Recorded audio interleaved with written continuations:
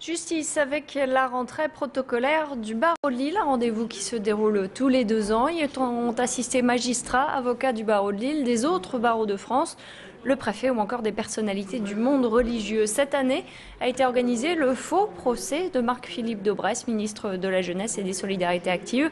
Un procès avec dans le rôle du procureur et de l'avocat de la défense les lauréats du prix de l'éloquence. Quelques explications de René Despiéglard, le bâtonnier du barreau de Lille. Cette année, euh, nous avions euh, innové puisque nous avions euh, décidé de faire un procès et d'inviter M. Marc-Philippe Debresse, qui est ministre de la Jeunesse et des Solidarités Actives.